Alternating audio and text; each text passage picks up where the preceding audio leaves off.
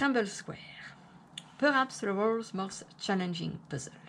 This edition it's about kittens, a lot of kittens. Sorry, dog lover, maybe next time.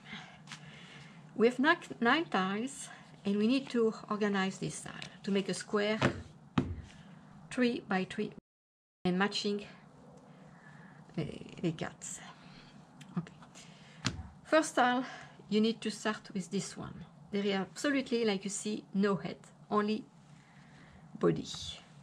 And you put the tile here. But you can start like that, or you can start like that. That come um, the same. Now you see, you have to keep in mind it's the Siamese cat and the Persian cat have to look face the inside, not the outside. That's the first tile. The second tile is this one.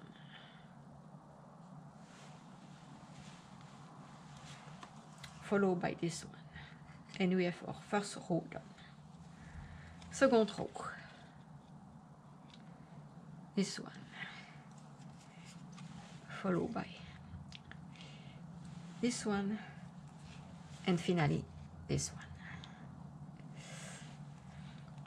Last row, this style followed by this one, and the last style is this one. And the puzzle is solved. Hope that can help somebody.